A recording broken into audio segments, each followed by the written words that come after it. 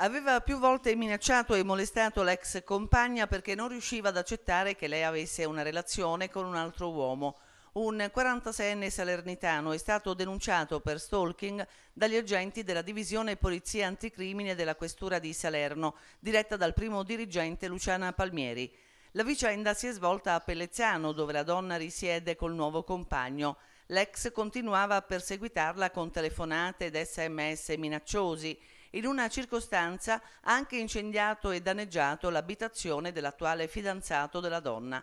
Le indagini della polizia e l'analisi dei tabulati telefonici hanno consentito di appurare che l'attività persecutoria dello stalker era iniziata nel maggio 2010.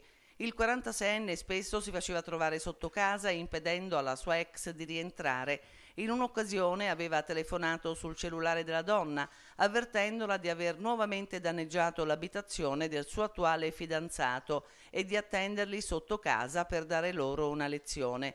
Parole minacciose e insulti pesanti, tanto da spaventare la coppia che preferì trascorrere la notte nella stazione ferroviaria.